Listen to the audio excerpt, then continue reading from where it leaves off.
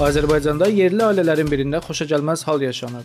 Belə ki, 19 yaşında olarkən İlahə adlı qadın əmisi gilə qonaq getdiyi zaman zorla evdə saxlanılıb. Unikal xəbər verir ki, məlum hadisə barədə detalları zərər çəkmiş özü Elgizlə izlə verilişində danışıb. O bildirib ki, 3 il öncə əmsi gilə qonaq gedib. Orada bir neçə gün qaldıqdan sonra zorla əmsi oğluna ərə verilib. İlk günlərdə İlahənin evdən qaçmaması üçün onu ayaqlarından zəncirə də vurublar. İki uşaq anası olan xanım ərinin onu döyməsi və təhqir etməsindən sonra ata evinə qayıdıb.